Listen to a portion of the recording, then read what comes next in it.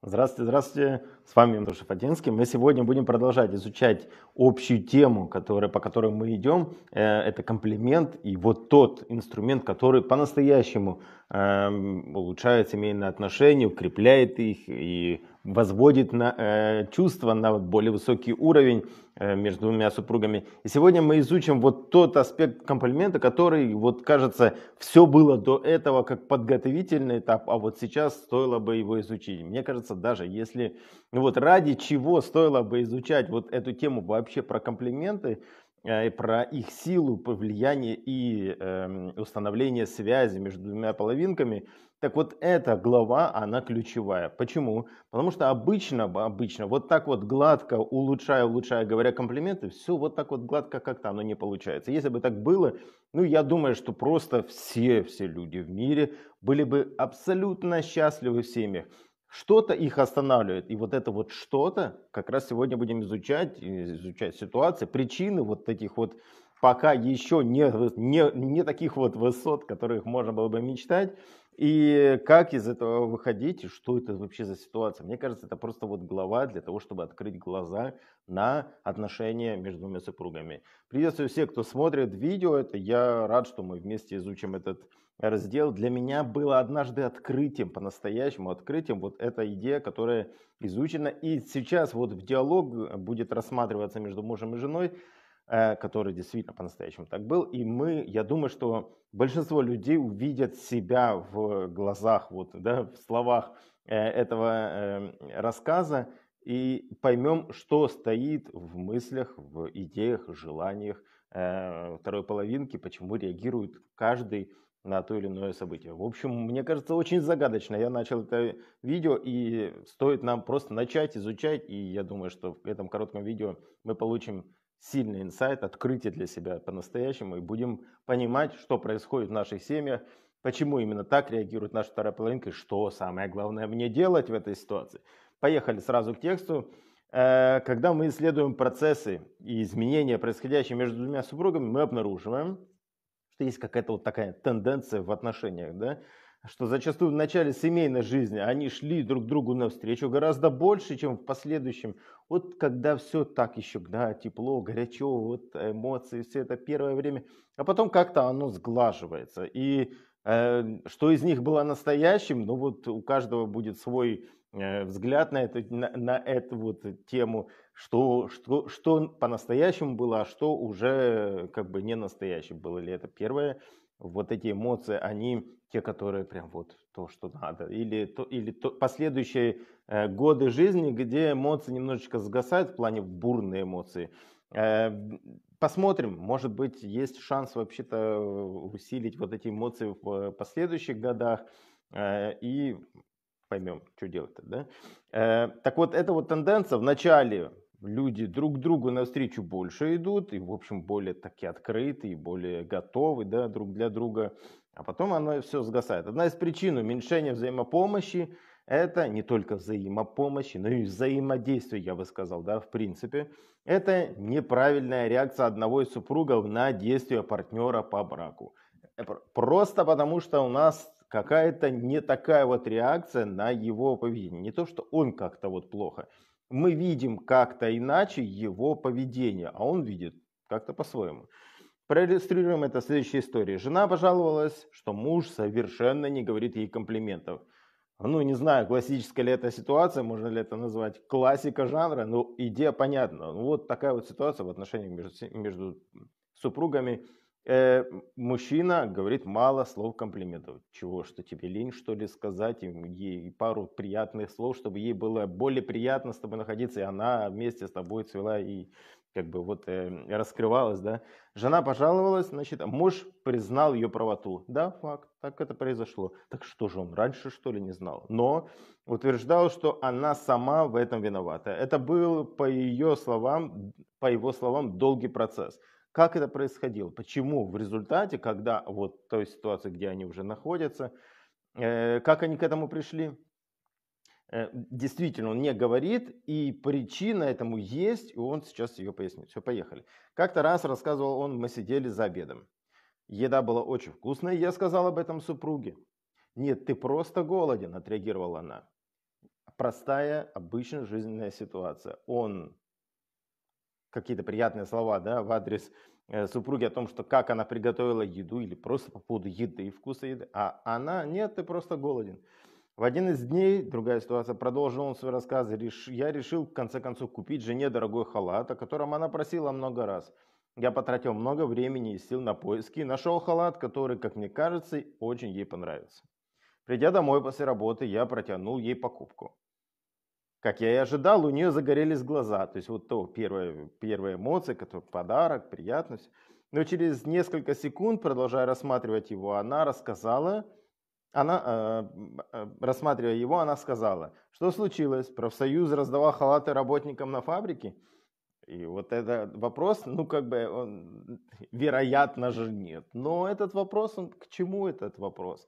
Э, ну вот, э, шутка ли это, не шутка? Ну, в общем, вот такой вот вопрос. Э, конечно же нет, оба знают, но вот просто э, как бы с чего вы это вдруг э, тоже такой же такой же вопрос, как и вот этот вот про фабрику, про профсоюз. А что случилось? С чего вы это подарочки? То есть вот такой вот вопрос, он как бы легкий, но в нем что-то есть, вот это какое-то зерно. Сейчас рассмотрим его. Другой раз, когда я пришел домой с цветами, она спросила, наверное, продавец цветов на углу не давал тебе пройти, пока ты не купишь у него. Это тоже, конечно же, нет, но, конечно же, это так не было. И даже если бы это так было, он же мог отказать. Это, это, э, он купил не потому, что там что-то произошло с э, продавцом цветов, а вот, ну, явно же, что ей будет приятно. Но почему она говорит такие вот странные слова? Хочу сказать, что каждый ответ из вот этих ответов жены в адрес мужа – ощущение у мужа, ну не супер. Ну вот в прямом смысле, если кто-то думает, что в общем это нейтрально, это в тот момент, когда хочется сделать приятное жене, вот такие вопросы, они не только угасают пыл и желание, но это как бы противоположная эмоция абсолютно. То есть от ожидания это абсолютно противоположные, э, против, противоположные эмоции. Э, что в результате? В результате что получается? Когда он закончил историю своей жизни, да, вот эти вот истории, я обратился к его жене и спросил, правильно ли будет сказать, что когда вы отреагировали на его слова высказыванием «ты просто голоден», например, по поводу еды, вы хотели, чтобы он сказал еще раз «нет, еда на самом деле была вкусной». Она ответила «да». Когда вы сказали, что халаты, вероятно, раздавали в профсоюзе, вы на самом деле хотели, чтобы он сказал, нет, я купил халат, потому что ценю тебя. Она кивнула в знак согласия. Да, так вот так и было. Вероятно ли, что когда вы отреагировали так, как отреагировали по поводу цветов, на самом деле вы хотели, чтобы он сказал, нет, я купил цветы, потому что я благодарен тебе за твой труд ради меня, ради семьи. И она опять ответила, очень правильно. Я объяснил им обоим. Вот такая вот ситуация. Он делает ей приятно, а она реагирует странными, странной реакцией, как для мужчины, очень странная реакция. Э, угасает пыл, и как бы здесь не только восхищение, здесь еще и пренебрежение вот этим вот поведением. Э, ну, в общем, как э, это, э, это, это вот поведение, оно не оценилось по достоинству словами жены. Но вот э, автор книги, консультируя эту семью, говорит о том, что, как бы уточняя у жены, что действительно э, так ли она хотела, чтобы он подтвердил. Сейчас он объяснит, э, почему она именно так хотела, но она это делала неосознанно, это, это не специально, что ли, называется, да? Э, она как-то вот так вот делала, это для того, чтобы что-то произошло с этим мужем, ну, то, чего она по-настоящему хочет. Я объяснил им обоим, что иногда один из супругов пытается что-то сказать, а второй воспринимает это ровно наоборот.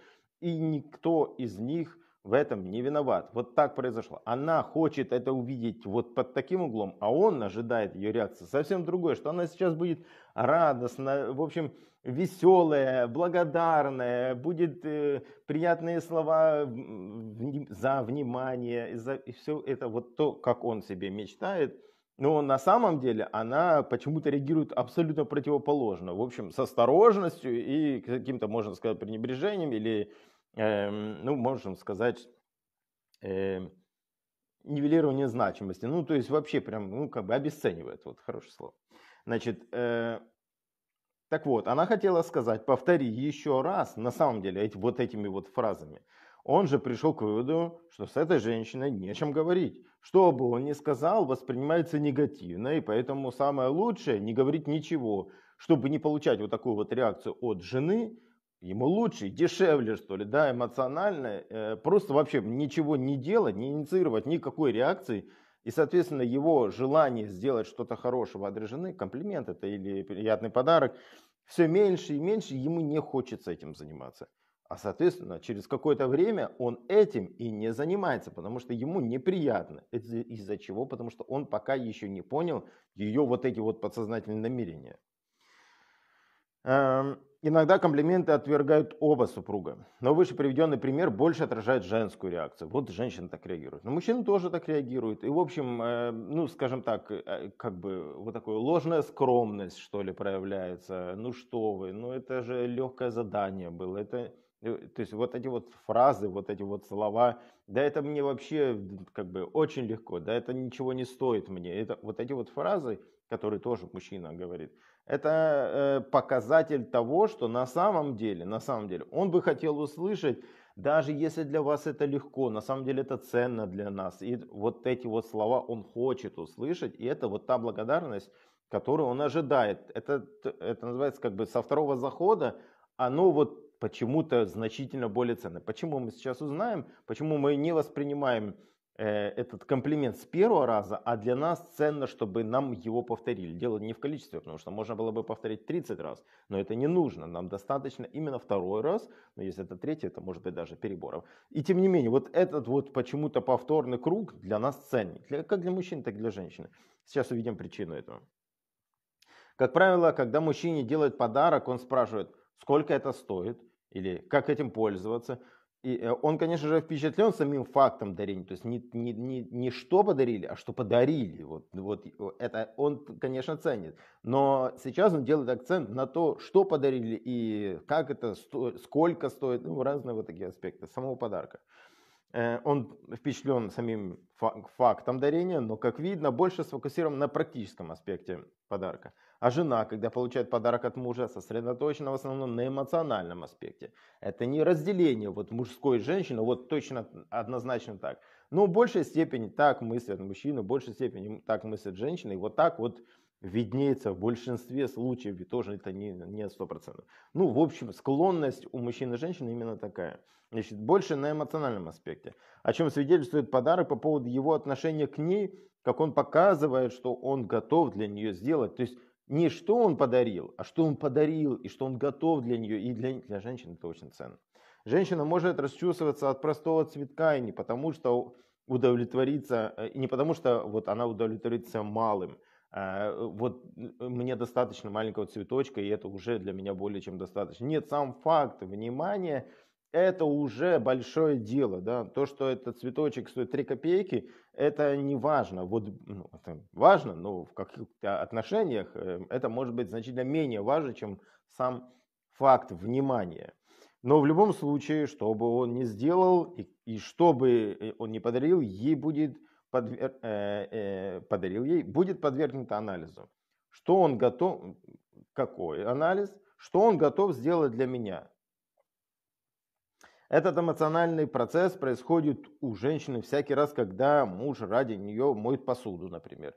Три копейки дело, да, то есть здесь вообще нечем говорить. Небольшое дело, это может быть пару минут занять, но то, что он это делает, для нее это может показаться очень ценным, хотя, ну, по сути, это вообще невелика ценность поступка. Э, например, прибивает гвоздь, тоже, может быть, для кого-то это вообще как бы на 3 копейки, но тем не менее, для э, вот сам процесс, что он это делает для удобства жены, это может вызывать очень бурю, э, большую благодарность, бурю эмоций, да? и дает эмоциональную поддержку. В результате этого эмоционального процесса, когда ее хвалят, она может отвергнуть комплимент. И вот этот вот момент, когда она говорит какие-то вот такие фразы там по поводу э, там, цветочника, ну, не цветочник, продавца цветов, э, или по поводу вкуса еды, и что он, например, голоден, или по поводу халата. Все эти слова, эти фразы как, как, как будто бы обесценивают. Но на самом деле это проверка на ценность самого комплимента. Это очень важно сейчас фокусироваться вниманием э, вот это перепроверка его внутреннего содержания этого комплимента. Не вылетело ли это из его уст как вот мимолетное, как бы случайное, внезапное, да?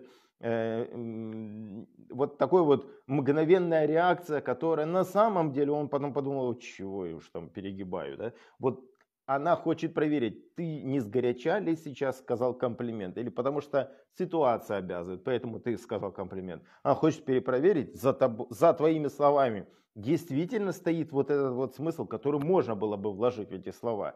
И я, вот когда, когда можно увидеть этот смысл, тогда, когда переспросив, что, ну, то есть переспросив, отвергнув этот комплимент, вот этот вот поверхностный слой, первое впечатление отвергнуть и посмотреть, а действительно ли он это чувствует. Если он это так чувствует, ну, он скажет, не-не, это правда, я, это по-настоящему. И, то есть это уже какие-то вещи, которые подтверждают, что за словами стояло серьезное намерение.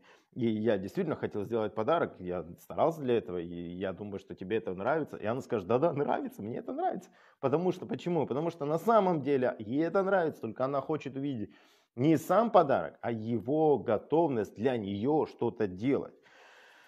В результате этого эмоционального процесса, когда ее хвалят, она может подвер... отвергнуть комплименты, потому что, или потому что смущена, или и реагирует в стиле «да я знаю, да знаю я тебя, это ты несерьезно», или вот такие вот слова, это, это из-за чувства неудобства или чувства подсознательного желания перепроверить ценность этого комплимента, что стоит за этим комплиментом, или хватит, я не люблю таких слов. Ну, в общем-то, когда комплиментами немножечко усыпали, а, и это стесняет человека. А человеку не очень приятно стесняться, и поэтому вот эти комплименты дешевле ему отбросить, откинуть эти комплименты, и, и, и тогда ему менее будет, э, он менее скован будет, и, в общем, не будет более чувствовать ну, не знаю, какой-то вот э, дискомфорт, стыд, неудобство, что ли, ну, в общем, э, стеснение, да, он не будет чувствовать. Ему дешевле откинуть этот комплимент, чем чувствовать стеснение. И поэтому, э, ну, говорит, ну что вы, ну прекращайте, ой, ну, то есть, как будто бы, ну, то есть, как будто обесценивает этот комплимент, или, или вот это вот ложная скромность, к которой люди привыкли, что вы, вы талантливый человек, не, ну что вы, какой талант, это просто, просто везение, или просто, просто так получается. То есть какие-то вот такие вот вещи, которые люди откидывают эти комплименты, обесценивая их, говоря, что не, не, нет, на самом деле, это все потому, что человеку дешевле их откинуть, э, чем их принять. Потому что принимая их, человека затрагивает э, самолюбие, гордыню, и это может показаться для него нескромным, что ли, да. Так вот, еще более нескромно это отвергать, а вот это отвержение, оно выпрашивает второй комплимент, и еще и еще. Так вот это на самом деле отсутствие стеснения, да? вот э, отсутствие скромности, когда человек еще и выпрашивает дополнительные комплименты. Но и в этой ситуации, когда мы говорим о муже жене, подводя итог нашей встречи сегодняшней, э, сказать о том, что жена отбрасывает, отвергает эти комплименты ради того, на самом деле, ради того, чтобы он подкрепил еще дополнительно вот, вот свои слова, или свой поступок, Э, еще дополнительным чем-то убеждая ее в том, что он по-настоящему так считает. И это, этих, даже, даже, даже этих слов ему доста, ей будет достаточно, чтобы э, увидеть в нем серьезное намерение и укрепиться в том, что действительно он это делает не с горяча, не потому что он должен был бы в день рождения подарить хоть какой-нибудь подарок или что-нибудь, вот так вот может он подумать. И она думает, ну, наверное, просто подарил, что, чтобы, чтобы, чтобы что-то подарить. А, но на самом деле она не хочет, чтобы он что-либо подарил, она хочет, чтобы он сделал для нее приятно в этот хороший день. И это дополняется вот этими вот повторными эм, подтверждением своих первых слов, слов комплиментов. Эм, Все это для того, чтобы... То есть все эти слова отвержения комплиментов можно заменить одной фразой. Повтори мне еще раз. Вот эта вот фраза, та, которая стоит за э, любой фразой отвержения э, или, можно сказать, нивелирования, пренебрежения, обесценивания, э, комплименты. На самом деле это не обесценивание, это просьба, хочу еще раз это услышать. Я желаю нам всем семейного счастья, и пусть это семейное счастье сделает нас э, счастливые э, общество, счастливое общество с счастливыми семейными парами. Э, приглашаю, как обычно, приглашаю участвовать э, благотворительными деньгами в поддержке благотворительного фонда по ссылочке в описании. И я надеюсь, я надеюсь, сегодняшний день будет успешным для всех и желаю нам всем только хороших новостей.